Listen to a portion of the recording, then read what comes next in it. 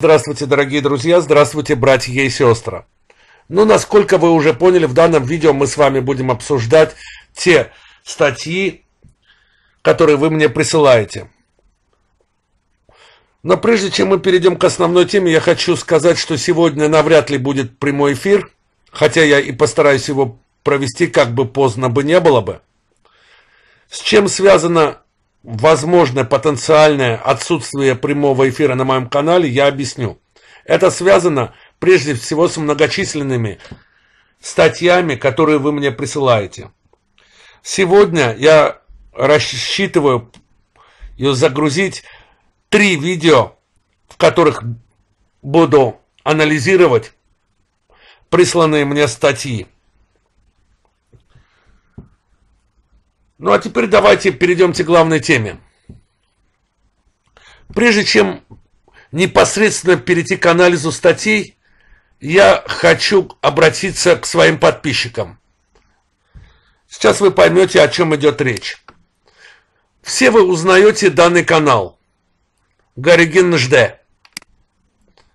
Вчера на данном канале, как вы знаете, проходил прямой эфир – на котором присутствовали несколько представителей радикального армянства. К сожалению, в связи с моей занятостью я не успел записать тот самый эфир. Сейчас же он удален с данного канала. Чем же он важен? Я уже говорил причину важности того самого прямого эфира, который Гарри Генжде удалил. Важность заключается в том, что в прямом эфире они посмели глумиться над жертвами, которые пали от коронавируса. Они хихикали, когда речь зашла о них. Некоторые откровенно смеялись. Я даже не буду говорить, как они, скажем так, прикалывались над животными, которые периодически в тех или иных странах приносили в жертву, чтобы, как они, говорили, как они говорили, напоить людей. Очень смешно. Что можно сказать? Этот прямой эфир очень важно распространить и ознакомить всех в особенности с тем моментом, где они вели себя, ну, простите за такое грубое слово, по-свински, бесчеловечно. А на самом деле они просто в этот момент, на мой взгляд, показали свое истинное лицо. В связи с чем я обращаюсь ко всем нашим азербайджанцам, ко всем моим зрителям, те, кто скачали данный прямой эфир на канале Гарген ЖД, пожалуйста, перешлите мне. Потому что я хочу вырезать этот фрагмент, и чтобы действительно этот фрагмент был распространен по всему интернет-пространству. Потому что это истинное лицо армянского радикализма. С этим все, дорогие друзья. Теперь давайте перейдемте непосредственно к анализу статей. Вот первая статья. Да, она немножко на другую тему. Кто такой Номан Челенбеджихан и почему его так уважают крымские татары? Почему же я решил заговорить с вами о татарах? Спросят меня мои зрители. Но прежде всего, есть определенный аспект, который крайне важен, на мой взгляд. Не знаю, кто как, но для меня он показался крайне важным.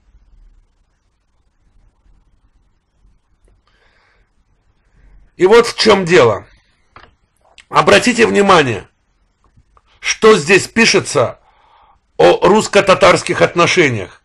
не просто говорится о крымских татарах, а пишется о татарско-русских отношениях. Это крайне важно.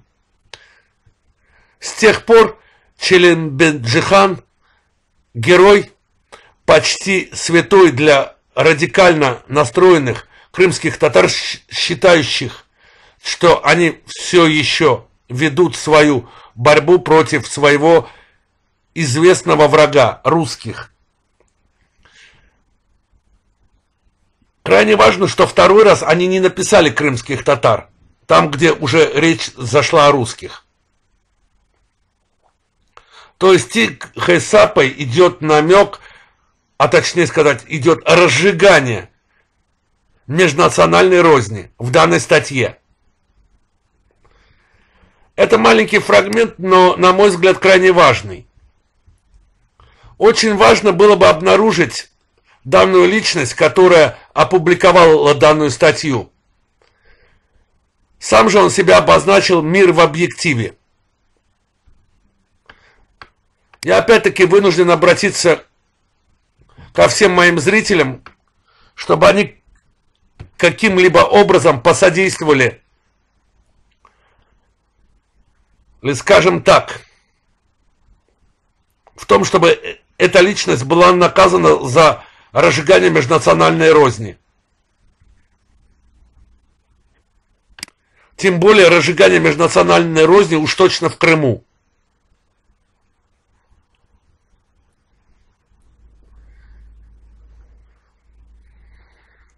Переходим к следующей статье.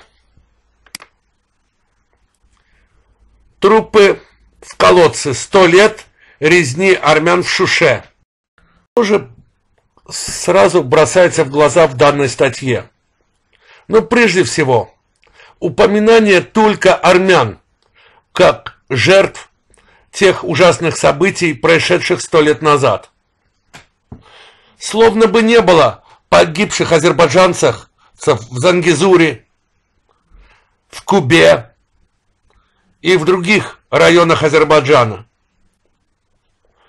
Только армяне погибали от диких тюрок. Из названия следует именно это, не так ли? В самой же статье, хоть и вскользь, но все-таки упоминается о том, что погибали и азербайджанцы тоже. Но об этом чуть позже. Первых же строчках вызывает уже сомнение у любого здравомыслящего человека правдивость данной статьи. Хотя бы в том, что о жертвах пишется, были убиты от 500 до 30 тысяч человек. От 500 до 30 тысяч. Что же это за такие числа? Почему такая громадная разница? Это первый вопрос, который возникает буквально с первых строчек. Второе. Опять я, опять я хочу сказать. Ничего толком не пишется о том, что предшествовало этим событиям. Говорится о том, что были конфликты в 1905, 1920, хотя на самом деле в 18 году и 1992. Кстати, опять-таки, почему 20-м? Резня в клубе была в 1918. -м. Куда же исчезли два года, которые предшествовали 20-му? Крайне важный вопрос. Потому что если говорить о 1918 годе, тогда то, о чем автор пишет, касаясь Шуши, окажется просто, скажем так, пустышкой. Потому что в Зангизуре было вырезано, уничтожено практически все азербайджанское население. В Кубе были уничтожены не только азербайджанцы, но и евреи и лезгины. Интересный факт, не так ли? В данной статье также стараются все свалить на мусаватистское правительство, на англичан, на кого угодно, но ничего не пишется о дашнаках. Словно бы этой радикальной организации не было. Тоже интересно. Интересно. Что, при, вот важный аспект. То есть они пишут о 20 годе. Но здесь же, чуть ниже, в этой же статье, они пишут следующее. Давайте почитаем. В конце лета 1918 года армянская армия под командованием Андроника вторглась в Зангизур. К октябрю э, разгромила здесь 115 сел, хотя на самом деле в несколько раз больше. Убила, убив 7700 и ранив около 2500 азербайджанцев и курдов. Еще 50 тысяч бежали вглубь Азербайджана. В самой Армении было разгромлено 199 мусульманских сел, в которых проживало до 135 тысяч человек, часть из которых погибла, другая бежала в Нахчеван. В кон... То есть автор говорит о событиях в Шуше, но в названии почему-то ничего не говорится об азербайджанцах. И только в самой статье в глубине говорится о жертвах, которые понес Азербайджан от армянских организаций националистического толка. Интересно, дорогие друзья. Интересно. То есть с самого начала автор старается, ну скажем так, загипнотизировать читателя, чтобы он акцентировал свое внимание только на жертвах армянской национальности. Здесь говорится, как я говорил, об Англии, о Хосровбеке Султанове, который именно старался содержать армянство. Статья очень большая, крайне большая.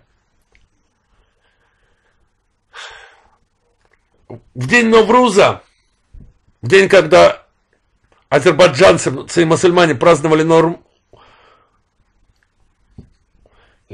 Новруз, армянство собиралось напасть на Аскеран, Ханхенди и Шушу.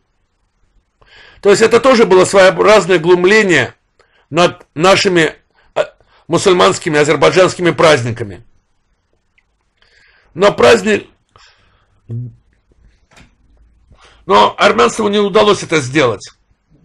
То есть, опять-таки, в данной статье четко указывается о том, что само армянство спровоцировало дальнейшие действия по своей попыткой напасть на город. Но почему же тогда в начале статьи говорится только об армянских жертвах?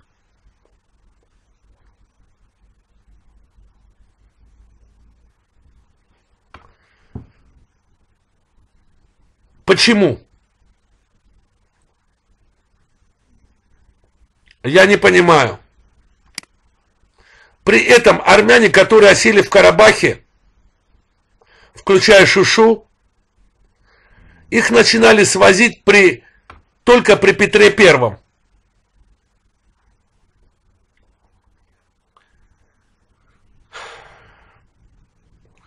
Также массово они прибыли, когда были события 1915 года, а также из Ирана. То есть это не их были земли, но они решили напасть. Вот факты, дорогие мои. Ссылку на данную статью я обязательно оставлю под данным видео, как и все остальные. Переходим к следующей статье. Гагик Царукян Зарплаты неработающим гражданам Армении должны платить государство. Сразу после прочтения названия данной статьи возникает один крайне важный вопрос. А с чего, из какой кармана Гагик Царукян планирует оплачивать неработающим гражданам Армении зарплаты? На мой взгляд, ответ крайне прост, если внимательно приглядеться к следующей фотографии, на которой вы видите авторитета Робсона, Сержа Саркисяна и уже знакомую вам, ли, знакомое вам лицо Царукяна. В чем же заключается ответ на данный вопрос? Но, на мой взгляд, оплачивать зарплаты неработающим армянам в Армении будут из воровского общака. Тех самых авторитетов армянской национальности, которые действуют на территории России, а точнее сказать, ее грабят. Не так ли? Это так, в двух словах, чтобы ответить на данную статью, потому что у Армении нету денег даже на то, чтобы как-то более-менее привести в порядок собственную столицу.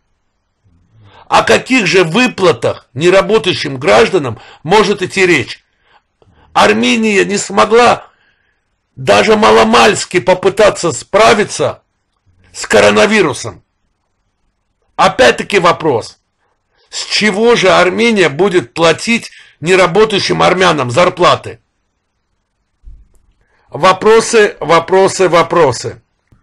Переходим к следующей статье. Вот эта статья.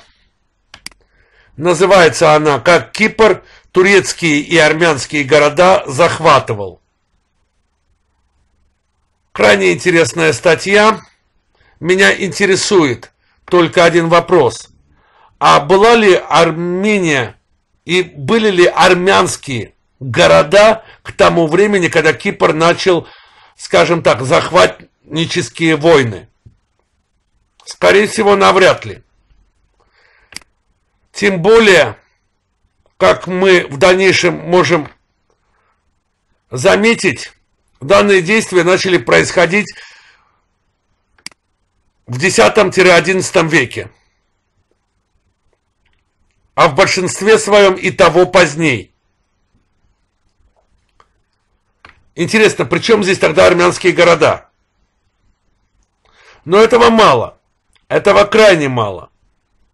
Давайте продолжим изучать э, данную статью, и мы после ее прочтения по неволе должны задаться одним вопросом, крайне важным. Чему же тогда удивляются историки, что Турция решила захватить Кипр? Знаете, самая лучшая защита – это нападение. И если на протяжении долгих лет на тебя оказывалось давление – со стороны, в кавычках, соседа, то лучшая защита от дальнейших нападений – это захват. Не так ли? То есть Кипр сам, будучи, в общем-то, небольшим государством, прово- так или иначе провоцировал захв- чтобы Турция захватила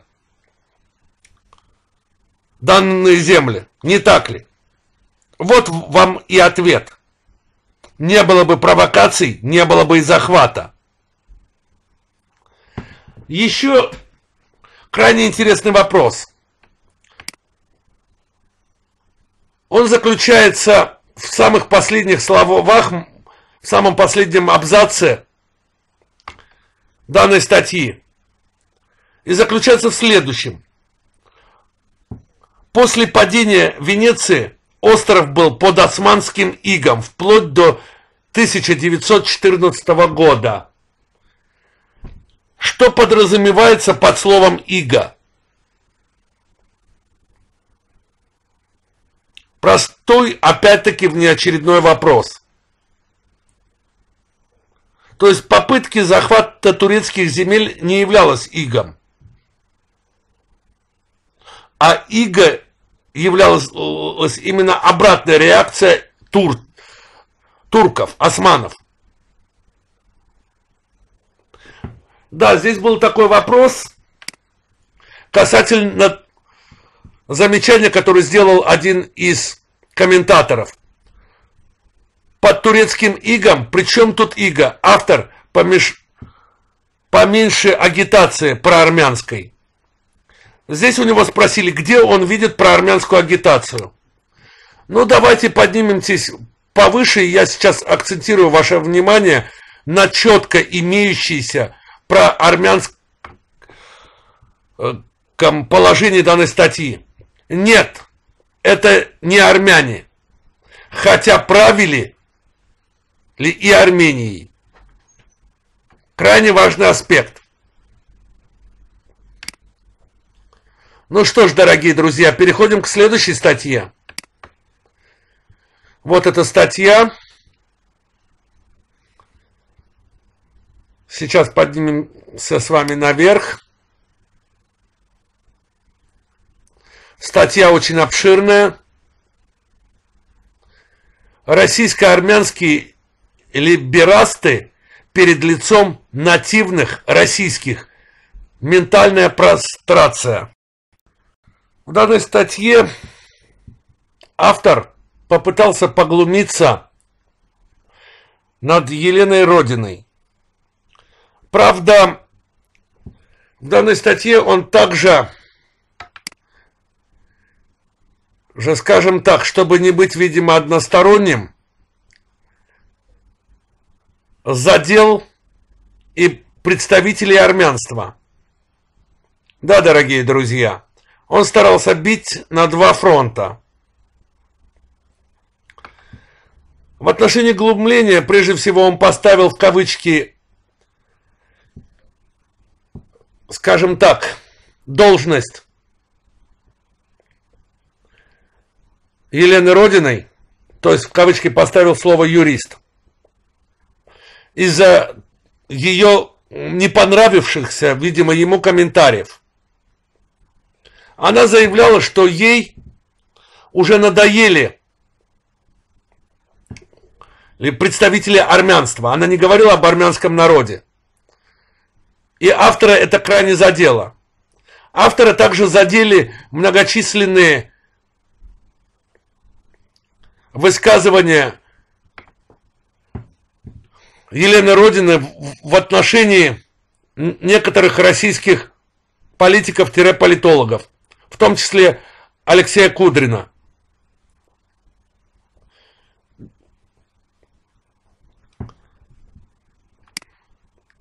Сейчас некоторые спросят, а где же тогда его поддевки в сторону армянства?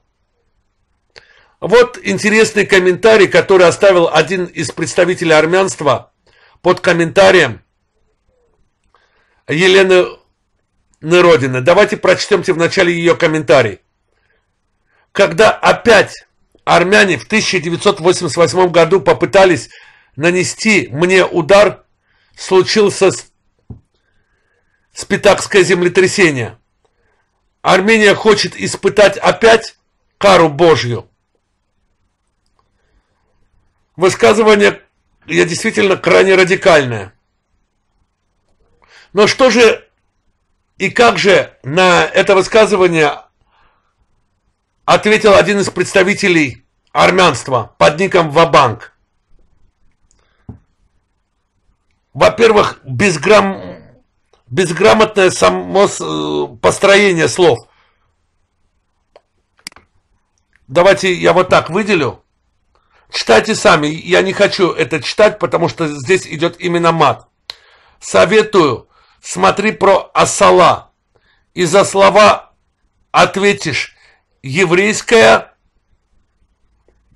простите, я не буду читать, кто именно. Ты как моя после, ну что можно сказать, вот это, видимо, так называемая великая армянская культура. Но давайте опустимся ниже. Давайте опустимся ниже, потому что это не один факт так называемой великой армянской культуры. Вот.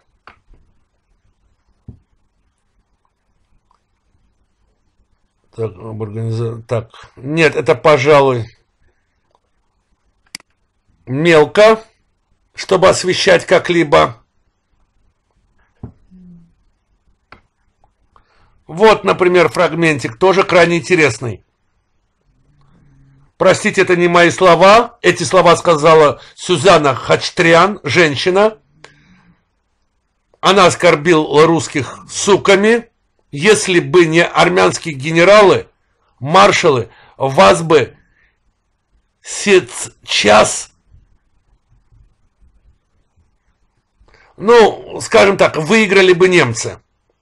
Во все неблагодарный народ – бьющий в спину всегда, исходя из истории. А самое главное, остаетесь за бортом. Опять-таки русских назвали турками. А азеры водят вас за нос. Конечно же, оскорбили нас. Уже постыдились бы позорно. Ну, что можно сказать, дорогие друзья? Комментарии говорят о многом. И эта ненависть, видимо, в армянстве давно. Просто они нашли Елену Родину, чтобы как-то оправдать свою ненависть к русским. Не так ли?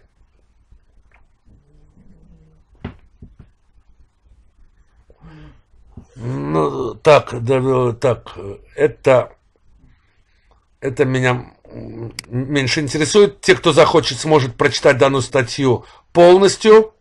Я же акцентирую ваше внимание на основных аспектах.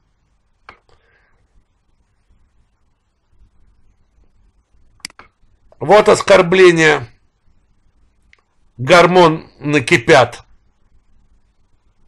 Армянского мужчины, мол, ей не хватает. Елена Родиной. Ну что можно сказать? Браво! Браво, браво. Меня интересует только одно. Как к этим высказываниям относятся наши армянские оппоненты в Ютьюбе? В Одноклассниках и в других соцсетях. Это ваши пишут.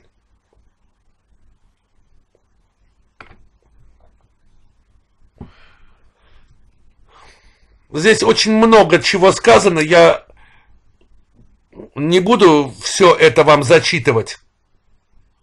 Здесь также глумятся над,